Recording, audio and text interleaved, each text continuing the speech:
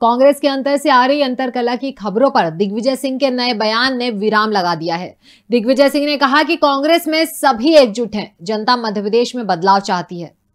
कांग्रेस के अंदर बड़े नेताओं के बीच सब कुछ ठीक नहीं चल रहा है, इस तरह की खबरें पिछले कई दिनों से आम हो रही थी।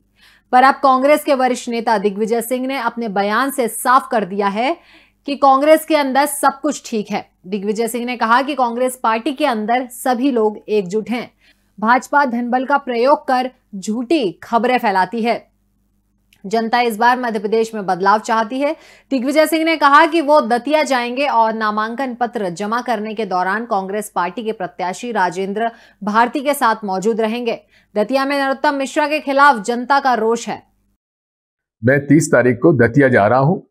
दतिया में नरोत्तम मिश्रा जी के खिलाफ जनता में जो रोष है मैं वहाँ जाकर कांग्रेस पार्टी के उम्मीदवार का जब पर्चा भरेगा तो मैं उनके साथ रहूँगा। इसलिए साथियों, इन भ्रामक प्रचारों से दूर रहें। कांग्रेस पार्टी में सब लोग एक हैं, एकजुट है।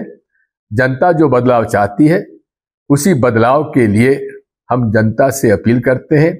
और यह भी एक बात समझने की है कि एक तरफ़ जनबल है कांग्रेस के साथ, दूसरी तरफ़ धन बल है भाजपा के साथ। और धनबल का उपयोग वे झूठी खबरें छपवाने में उपयोग कर रहे हैं। ये पुरानी इनकी रणनीति रही है, इन सबको समझते हैं। इस प्रदेश में दो ही दल हैं, विशेषकर मध्य प्रदेश में। या तो सरकार कांग्रेस की बनेगी या भाजपा की बनेगी। ये छोटे छोटे दलों की कोई सरकार बनने वाली नहीं है। इसलिए मेरी सभी मतदाता भाइयों और बहनों से प्रार्थना है कि वे इनके झांसे में ना आए। बदलाव जनता चाहती है और बदलाव तभी होगा जबकि 20 साल के कुशासन को दूर करते हुए कांग्रेस का शासन लाए और कांग्रेस के शासन में कमलनाथ जी के नेतृत्व में हम लोग सब मिलकर काम करें। ये हम लोगों के लिए एक हमारा वचन है, वचनबद्ध है। हम लोग सब मिलकर काम करेंगे और भाजपा को हराएँगे। जनबल जीतेगा, धनबल हारेगा। धन्यवाद। भी शोर में दब जाते हैं कई बार असल मुद्दे। अनसुना किया जाता है जनता की आवाज़। स्वागत की बंधनवारों के पीछे का सच। शिलान्यास के पत्थरों से पथराई आँखों की हकीकत। हमारे साथ दखल न्यूज़ पर।